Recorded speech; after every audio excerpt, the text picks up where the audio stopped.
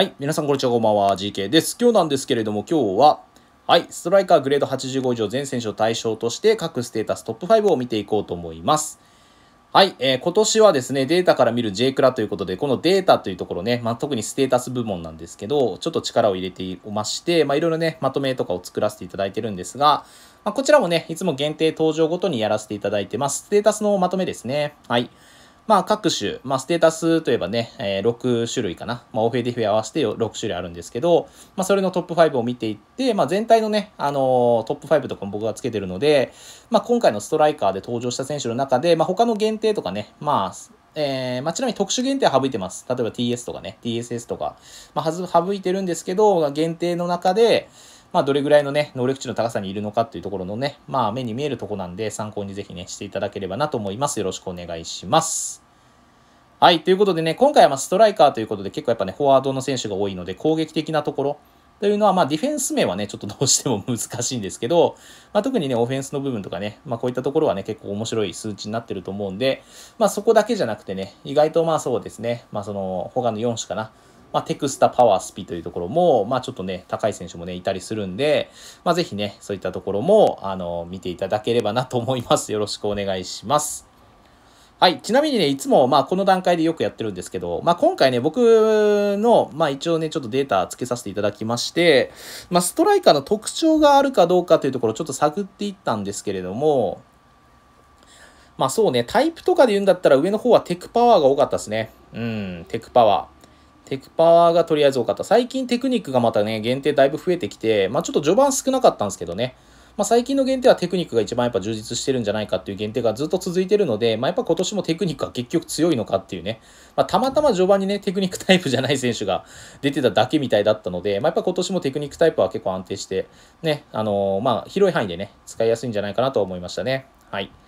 で、あとはそうですね、まあ、いつも、あとは他のところはそんなにないかな。まあ、あとはスピとかバラとかスタが、まあ、それなりに散らばってるかなっていう感じですかね。うん。ここに関してはそんなに差がなかったと思うんで、まあ、とりあえずテックパワーが多かったと。まあ、この2種ね、大体多いんですけどね。まあ、今回もこの2種が、まあ、CF というところもあると思うんですけど、多かったというところで、はい、登場してますので、まあ、ぜひよかったらね、ここを押さえつつ、ぜひね、今回の、えートップ5見ていただければなと思います。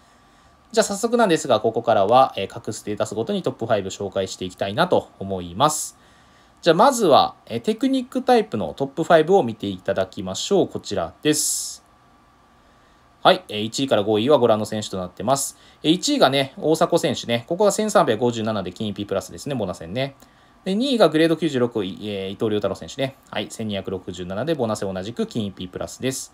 で、3位がグレード95、小川幸輝選手が1245で、ボナ戦同じく金 EP プラスです。で、4位がグレード91、興梠慎三選手ね。はい、ここ1207で、ボナ戦がオフェと EP30% プラスのダブルセンスですね。はい。で、5位がグレード94町野選手の1175。ここがオフェと EP の同じくダブルプラスセンスとなっております。はい、という数字だったんですけど、大迫選手がね、まあ当然テクニックタイプだったということで、まあテクニックがやっぱね、高い。うん。まあこれ全体的な数値見てもやっぱグレードが99なんでね、まあやっぱ今まで出た選手大体98なんで、まあそこの、あの、まあ1の、まあアドバンテージといいますか、まあそこもちょっとね、大きく響いた感じになってたかなと思いますね。はい。まあやっぱ全体的にステータス高かったしね、うん。まあやっぱりグレードの高さっていうのはまあそういうところにね、比例してくるんでね、まあ有利にはなってくるかなというところで、特にね、まあ G タイプの、うん、まあ数値はね、当然伸びてくるでしょうねって感じですね。はい。で、まあ伊藤亮太郎選手とか小川幸輝選手、なんなら、興梠選手までね、1200超えてるんで、まあ結構高い数値がね、やっぱテクニックタイプ多かったんで続いたかなって感じがしました。で、まあ、この大迫選手の1357っていうのは結構トップクラスに高いと思うんで、もしかしたらね、トップ5とか入ってくる可能性も十分にね、秘めてる数値かなと思います。まあ、テクニックが高いからどうなんだっていうところはちょっと難しいんですけど、ポストプレイとかにね、どうなんですかね、影響があるのかなあんまり僕気にしたことないですけど、まあそんなにね、まあ、まあ、大体ポストプレイヤーの選手って EP 上げちゃうんで、あんまりね、まあその能力値的にテクニックがね、めちゃくちゃ上がるとかもないしね、大体ね。うん。まあなかなかちょっと結びつきは難しいですけど、まあ高かったですね、とりあえずね。はい。まあここはタイプが影響したんじゃないかなと思います。はい。じゃあ続きまして、スタミナのトップ5見ていきましょう。こちらです。はい。ここも1位から5位の選手、ご覧の通りとなっております。1位がグレード97、小川幸輝選手が1179。で、ボナ戦は金 EP プラスですね。で、2位がグレード99、大迫勇也選手が1174、ボナス円が金 EP プラスです。3位がグレード90、あ、違う違う、同じく同率ね。すいませんでした。同率で、2位で、えー、グレード94、細谷真央選手が1174で、ボナス円がパワーと EP30% のプラス、えー、のダブルセンスですね。はい。で、4位がグレード96の伊藤良太郎選手が1173で、ボナス円金 EP プラスです。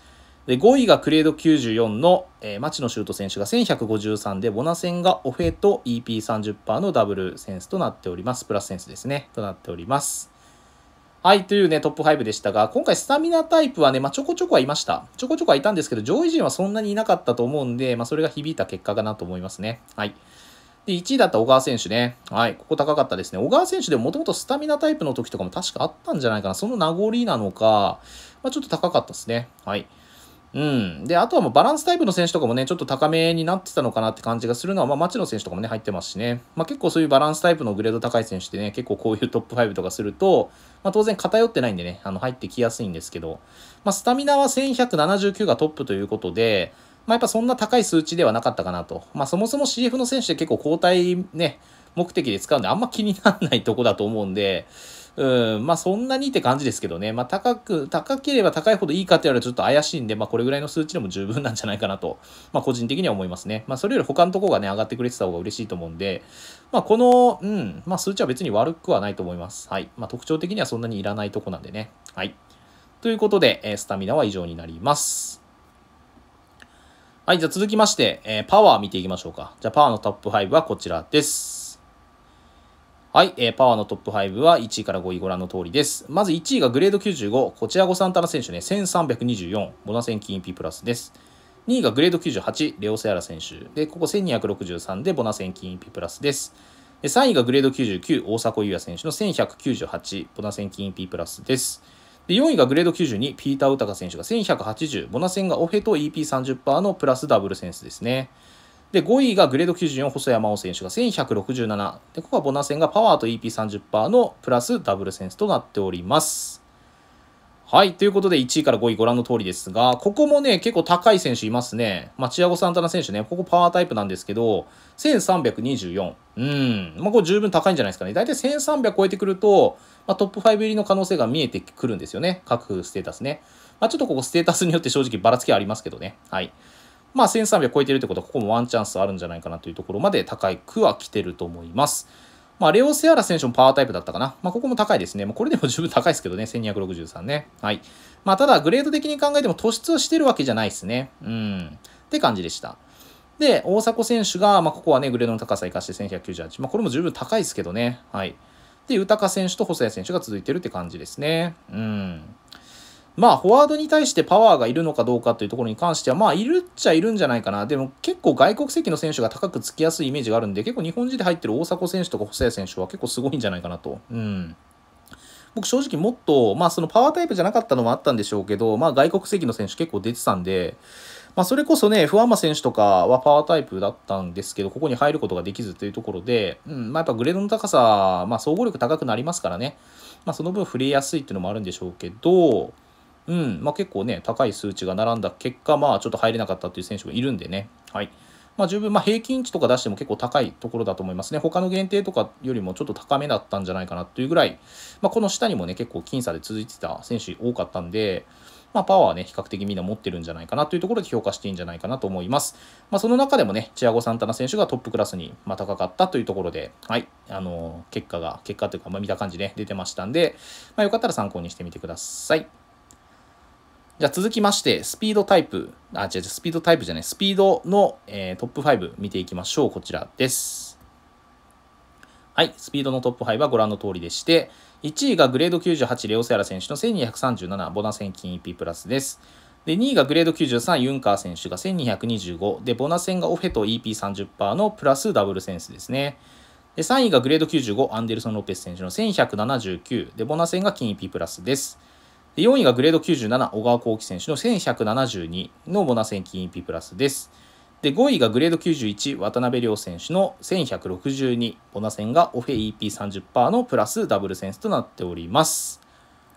はい、ということでね、ご覧の5選手が、えー、上位5人となったわけなんですけど、まあ、スピードタイプはね、そんなに多いわけじゃなかったですね。特に上の方には。うん、なんか中盤ぐらいにはまあいたかな。89から92、3ぐらいの間のところには何人かいたと思うんですが、まあ上位陣はね、軒並みいなかったと思うんで、あ、アンデルソン・ロペ選手だけだったかな。アンデルソン・ロペ選手だとスタミ、えー、スピードだったような気がしますけど、まあそんなに高くはなかったかな。うん。まあオフェとかにね、結構持っていかれてる影響もあるんでしょうけどね、ここら辺はね。はい、ということでね、1位がレオ・セアラ選手でしたね。レオ・セアラ選手が結構偏ってたんですよね。パワーとスピードの方かな。偏ってたかな。うん。テックとかそんな高くなかったんでね。うん。まあ、ちょっとね、そういった特徴があったりするんでね、カードによってね。で、前もなんか言ったんですけどね、選手によってね、ちょっと違うところがあるみたいで、もしかしたらそういうところに特化したカードとかになってるのかもしれませんね。こんだけ寄ってるってことはね。うん。まあ、そこはちょっと使ってみないとわかんないってとこだと思いますけど、まあ、ちょっと気になるところでありますね。はい。ということで、えー、ご覧の5人がトップ5となってました。まあ、1237ぐらいだったら、まあ、高い方には入んないかな。ポジション的にも、まあ、そんなに上がるポジションじゃないですからね。どっちかというと、あの、ウィングとかが伸びやすい、えー、数値にはなるので、まあ、ちょっと今回は、まあ、ポジション的にもそんなに高くなりにくいかなっていうところがあったので、まあ、これぐらいの数値でも、まあ、妥当かなというところと、まあまあ高いですね、にしてもね。まあ、十分高いんじゃないですかね。CF で1200台とかあんま多分ないと思うんで、まあ、ユンカー選手とかもね、全然高いと思いますよ、この数値ね。はい。ということで、えトップ5以上となります。はい。じゃあ続きまして、ここから主要2ステータスなんですが、今回ディフェンスはね、そんなに、まあ当然ね、あの、フォワードの選手ばっかり出てるんで、そんなに、まあ、ね、別に気にしなくてもいいんですけど、一応ね、やっときたいと思います。ディフェンスのトップ5見ていきましょう。こちらです。はい。ディフェンスの1位から5位、ご覧の通りとなってます。1位がグレード96、伊藤亮太郎選手の497で、ボナセンキン P プラスです。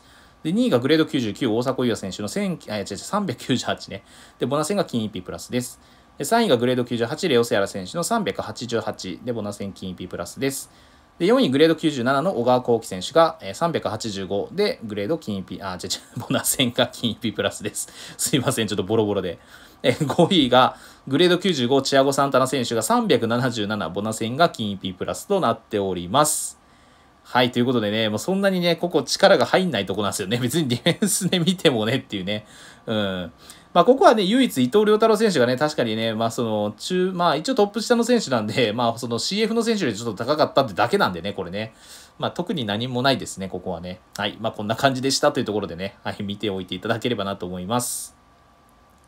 はい、ということでね、ディフェンス終わりまして、えー、ここからね、まあ一番ちょっと大事なところ、オフェンスかなと思います。はい。まあこれまでね、いろんな選手、当然ね、オフェンシブな選手、ね、グレード高い選手出てきましたが、まあそこと比べてね、果たしてどのぐらいの数値の差とかに、まあ高くなってんのかどうかとかね、そもそもね、まあそういうところをぜひね、見ていただければなと思います。じゃあ、オフェンスのトップ5見ていきましょう。こちらです。はい、えー、ご覧の1位から5位の選手が、えー、ランクインとなっております。まずここ1位がグレード99の大迫勇也選手が1728来ましたね。はい、ボナセンキン P プラスです。で、2位が、えー、グレード8、えー、98のレオセアラ選手の1694、ボナセンキン P プラスです。で、3位がグレード97、小川幸輝選手の1663で、ボナセンキン P プラスです。4位がグレード95、アンデルソン・ロペ選手が1618、同じくボナセンキン P プラスです。で、5位がグレード95、チアゴ・サンタナ選手の1617、ボナセンキン P プラスです。はい。ということでね、伊藤良太郎選手を除く他の5人のピックアップ選手たちの順番になってますね。まあ、これはちょっと当然かなと思っちゃうところもあるんですけど、ただまあ、ボナセンとか入れるとね、まあ、高い選手はもっといるんですけど、うん。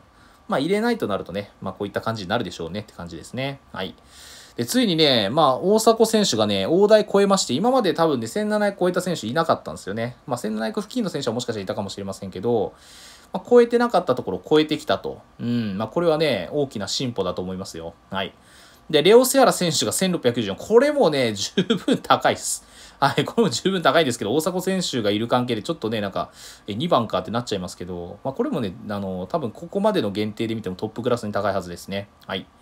で、3位の小川選手もなんなら高いね。これ1650超えたら結構トップ、まあナンバーワン狙えるぐらい高かったんで、今までだったらね。うん。まあ、1663、十分高いです。もちろん4位の5位 ,4 位と5位の2人も高いし、この下に続く選手たちも結構高い選手います。1600付近の選手なんてね、結構いるしね。はい。ということで、やっぱりね、まあ、能力値の高さは、まあ、当然ね、ストライカーということで、まあ、お墨付きだったということですね。はい。まあ、この後ね、トップ5のその全体でのトップ5とか見ていくんですけど、ここは結構ね、多くの選手が食い込んでる可能性があると思ってください。はい。ということで、6ステータスの紹介が終わりまして、これにてね、今回のストライカーでの各種ステータストップ5は以上となるんですが、まあ、全体ですよね。まあ、結構今回ね、特にオフェンスを筆頭に高い選手がいました。まあ、各ポジ、ね、各ステータスでもね、結構トップクラスに高い選手が1張った時もあったので、まあ、今回多くね、ノミネートしてる可能性もありますね。ということで、全体として見た時のトップ5に入っている選手を見ていきましょう。こちらです。はい、ストライカー登場時点での全体基礎ステトップ5ランクイン選手として4名いましたね、今回ね。はい、まずグレード99の大迫選手がオフェ1位で、テクが4位でした。まあ、これテクも高かったですからね、1350ぐらいありましたがね、これで4位でした。で、オフェはもう文句なしの1位でしたね。はい。で、次、グレード98、レオセアラ選手がオフェンスの2位でしたね。はい。ということで、まあ、トップ1、2ですね。はい。なんなら下のね、グレード97、小川幸輝選手がオフェンス5位取ってるんで、1、2、5位がね、ストライカーになっちゃったというね、ところですね。はい。ただ、とりあえずこうなっただけでもしかしたら今後ね、またすごい選手が 多分出てくると思うんでね、いずれはね。はい。まあ、一つの目安になったんじゃないですかね。前半のストライカーでこれぐらいの数値出るんだったら、後半は大体1800ぐらいいくのかなとかね。まあ、意外とそれぐらいまでいきそうだなとかね。うん。まあ、そういうところの目安にはなってきたんじゃないかなと思いますね。はい。で、最後、サンタナ選手ね、が、えー、ここパワー高かったんでね、パワーが4位に入ってましたね、全体のね。まあ、これも素晴らしい数値だと思います。やっぱまあストライカーでパワー高いとなると結構競り合いとか、なんか有利なイメージとかもあったりするんで、まあ、そういうところでね、はい、押し勝ってライジング打ったりとかね、そういう場面もあるかもしれないんで、この数値は結構高いのは面白いんじゃないかなと個人的には思いましたね。はい。